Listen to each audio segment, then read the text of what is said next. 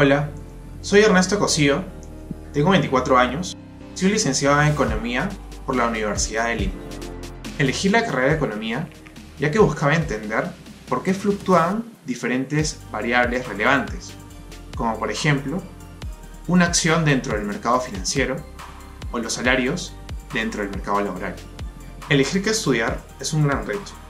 En mi caso, tuve la oportunidad de participar de juego de bolsa interescolar organizado por la Universidad de Lima. Además, asistí a todas las charlas informativas que pude y tuve extensas conversaciones con familiares y amigos. A partir de esto, elegí la carrera de economía. Yo elegí la Universidad de Lima por su prestigio y porque me permitía dentro de la carrera especializarme en diferentes temas, como por ejemplo finanzas corporativas o política económica.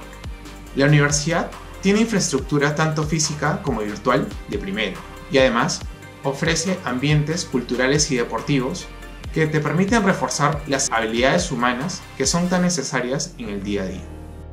Mis prácticas las hice en el Laboratorio de Mercado de Capitales de la universidad.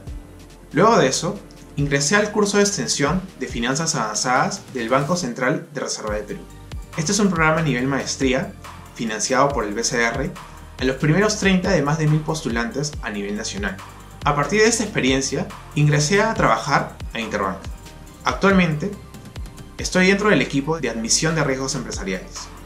En mi experiencia académica y laboral, he notado que los egresados de la ULIMA están presentes en rubros clave ocupando puestos de liderazgo por ejemplo, en corporaciones privadas, en entidades públicas, en ONGs o inclusive creciendo dentro de su propio negocio.